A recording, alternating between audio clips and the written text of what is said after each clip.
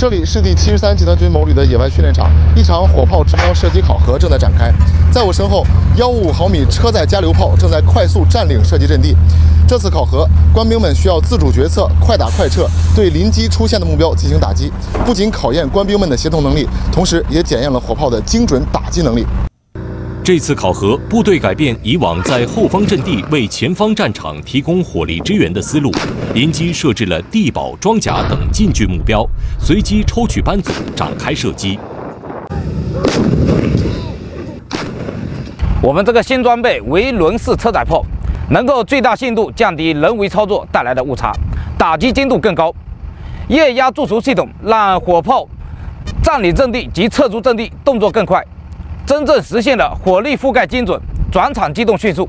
从火力覆盖到精准打击，提升的不仅仅是装备的性能，指挥流程的优化也是提升火力反应速度的关键一步。在我身旁的就是旅队的新型侦察车。当侦察队员发现目标之后，他们可以一键将目标信息回传至指挥所，再由指挥所分发到各火力单元，有效提升了火力反应速度。随着装备更新迭代，侦察手段和火力打击的方式也更加多样。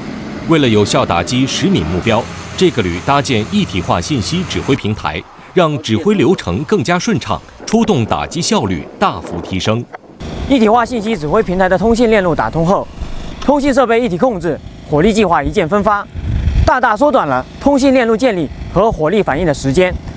我们可以真正做到先敌开火，发现即摧毁。一键架炮，一键收炮，一键完成通联回传。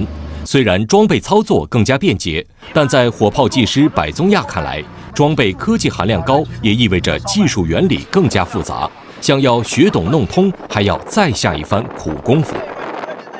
在一次实弹射击中，输弹机突然出现故障，情况非常危险。我们只有赶紧联系厂家，才解决这个问题。从那时起，我就意识到。战场上没有厂家可以依赖，我们只有深入研究装备性能，掌握装备的操作规程，具备一定的故障判定排除能力，才能将新装备的威力发挥到极致。为了验证新装备的极限性能，这个旅远赴高原山地、平原密林展开实战训练，预想各种危局、险局、困局，不断提高人装结合效能，把基础训练贯穿全程来抓，加强一装多能训练。增强应急协同训练，提升关键岗位的超前储备率，不断提升斩中抓训质效。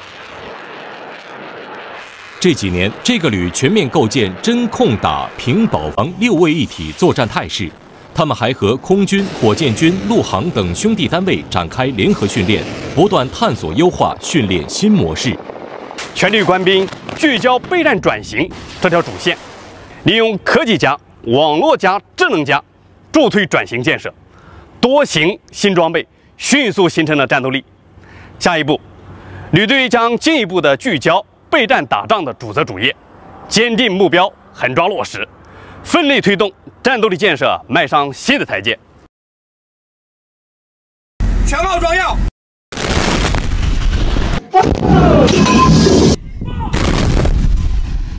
通过机动转移射击、临机快反射击。和集火拦阻射击等科目考评，有效提升了我们炮兵分队在复杂条件下的指挥控制和精准毁伤等能力，为下一步遂行多样化任务提供有力数据支撑。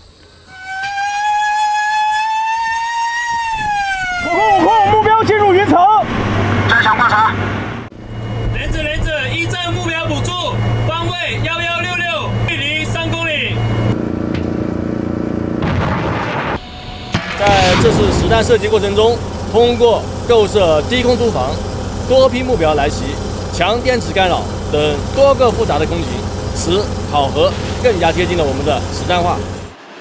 我们通过嵌入实案敌情，从难从严，锤炼官兵专业技能。在下步训练中，我们将继续聚焦实战，为部队遂行多样化收排爆任务打牢坚实基础。